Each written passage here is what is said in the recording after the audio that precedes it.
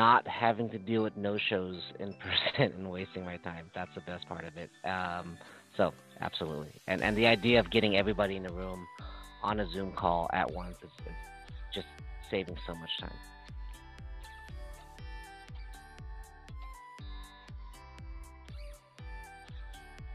Uh, so far, it's, been great. I've, I've, uh, i am really enjoying the process so far. It's just been hands off.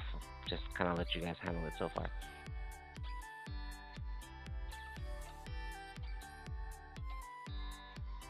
How easy it's been. Um, you guys kind of. It, it feels like everything's feels like everything's lock and step as far as like what needs to happen. Um, I'm not tracking anybody down to figure out what's happening. Uh, it just kind of happens the way it should happen, and you know, appreciate the the uh, professionalism with the whole process.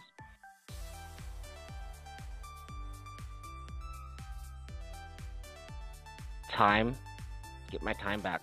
Lots of my time back. Really, a lot of time has been put back in my day because I'm not sitting there trying to